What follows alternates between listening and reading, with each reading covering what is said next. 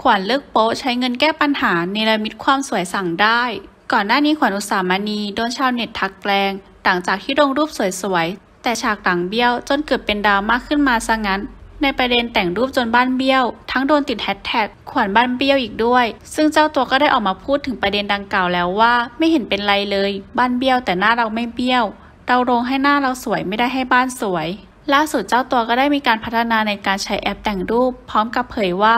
เราก็เปลี่ยนฟิลเตอร์ไปตามอารมณ์ ตาม feel ของเราอาจจะใช้ตังค์ซื้อแอปเยอะขึ้นมั้งคะ ใช้เงินแก้ปัญหาอีกแล้วหัวเราะ ก็ขอบคุณที่ทุกคนชอบ ชีวิตความเป็นส่วนตัวเราเริ่มน้อยลง มันก็เริ่มทำอะไรเพื่อคนอื่นมากขึ้น เริ่มลง IG Story ช่วยคนให้มีช่องทางการขาย มีดีบ้าง สวยบ้าง ช่วยคนอื่นขายของบ้าง